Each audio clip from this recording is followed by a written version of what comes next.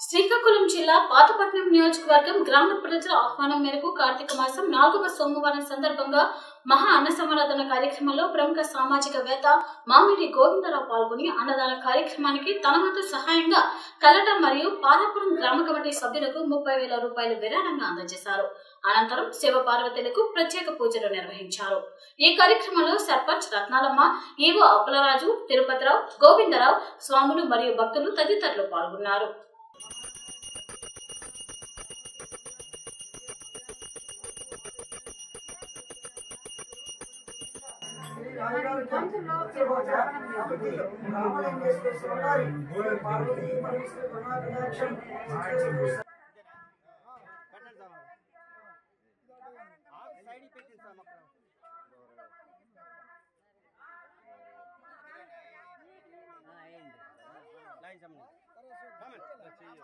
లాగించిన ముందు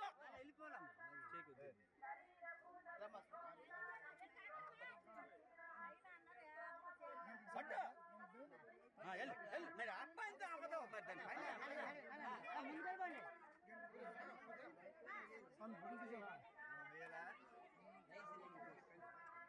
చేతి రెండు నేల జ్యోతి